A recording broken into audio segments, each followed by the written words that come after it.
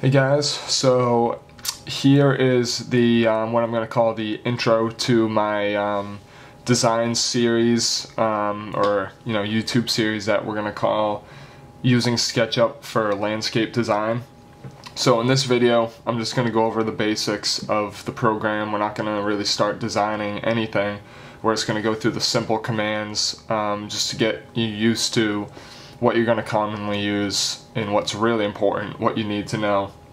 Um, so just to give you a little heads up what's going to go on. So I'm going to do a series on how to do a landscape design using SketchUp. So this is SketchUp, the free version. Um, I honestly don't really know the big differences between this and the pro version, you know, the version that you pay for, but as far as I can see, there's no need for the pro version. This does an awesome job.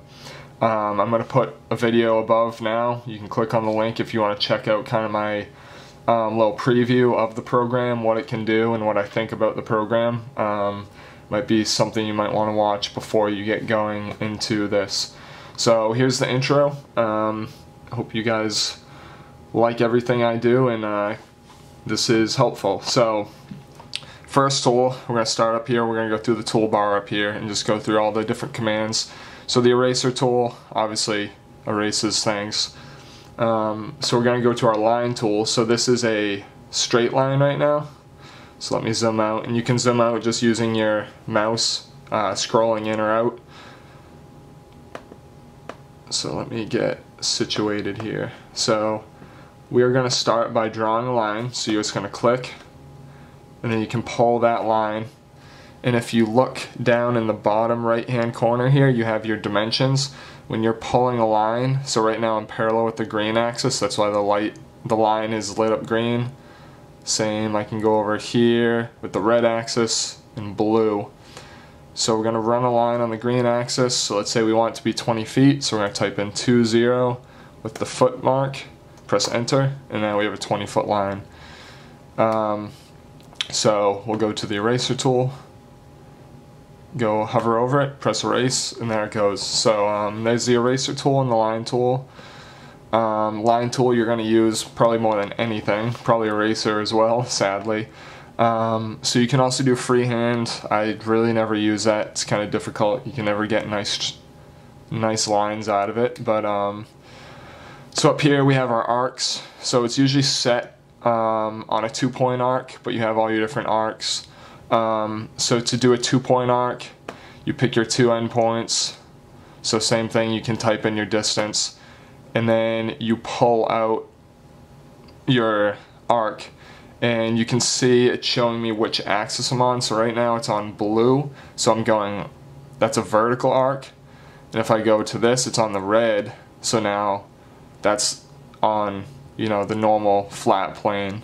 Um, and then just click when you're ready. So there's our arc. We can go back up, swing around. You can see there's that arc. So we'll erase that, get that out of the way. So then we have our circle tool up here. Um, and you have all sorts, you can do rectangles, rotate, rectangle, circle, circle, and polygon. We're just going to do a basic circle.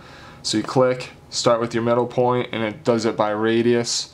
So you can do a five foot radius and there you go. So now your circle is filled in. Um, when you see this dark gray or white, that means that you can actually fill. That means your area is closed in so you can fill it with a um, pattern or color. So we'll erase, actually we'll leave the circle for now. So now we're going to go up to the next right here and this is your push-pull tool, which is very important. So we're going to take this circle, and when you hover over it, you can see that it has kind of a, um, you know, a bunch of dotted lines on it. So that means that you're just choosing that area. So when you click on it, you can pull or pull it, pull it down or up. And just like everything else, you can type in your, you know, your height down here. So let's say we want this circle to be 12 feet tall, type in 12 with the foot mark, enter, and then there's our 12 foot cylinder. So that tool is extremely important. You'll use that a lot. It saves you a ton of time versus actually drawing your shapes um, height-wise. So we'll go over to offset. Um, I have not really used this tool very much. Um, honestly, I'm, I have not used it at all, so I'm not sure exactly what it's for. But I'm pretty sure it's you can take your circles or your arcs just like this and just do an offset line. So if you say you built a sitting wall and you have your first outside line done and you want to build the inside line, you can just use this tool right here and it'll give you a perfectly parallel mark. Um, so same thing, let's say we want it to be three feet out. There we go.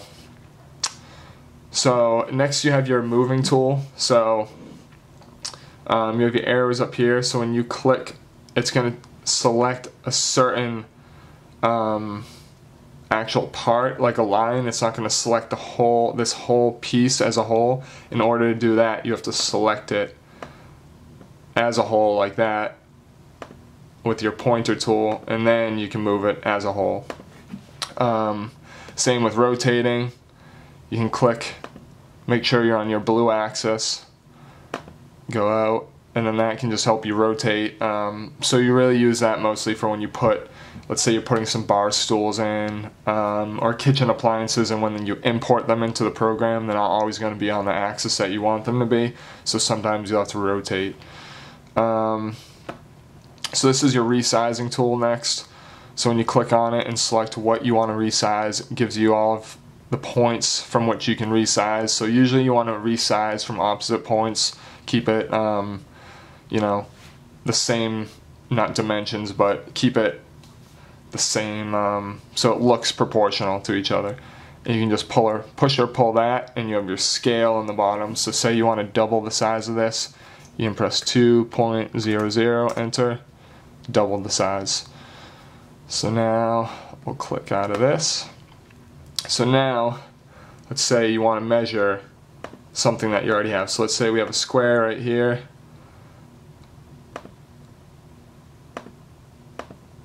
And you want to see how long this is right here. You're going to take your tool, your uh, tape measure, click on one end, and go to your next, and that's going to give you your measurement down the right hand corner. Um, you can also use it to mark certain points. So if you want to say you want to draw another line horizontal to this line, you can at 10 feet, you can do 10 feet, enter, and sometimes it'll leave a little mark so you know where your 10 foot mark is. It didn't do it that time. Sometimes it's a little tricky, um, but that way you can use it for marking. So we're gonna skip. Um, I have no clue what this is for and I've never used it we're to go to our paint.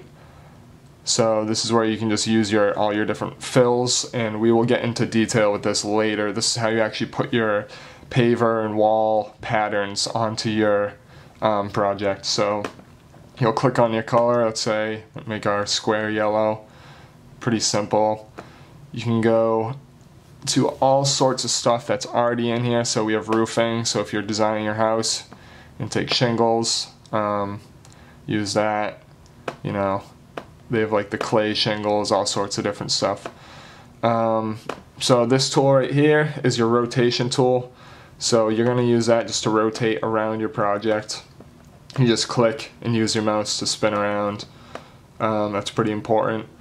Um, next is the hand, so that's just going to same kind of similar. It's just going to move you around. It won't let you spin, but it'll let you move up and down and side to side in your project. Um, magnifying glass.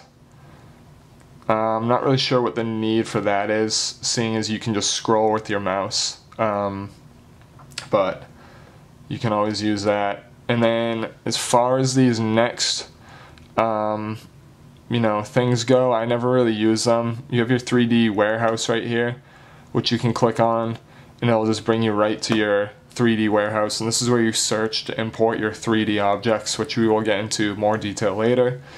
Um,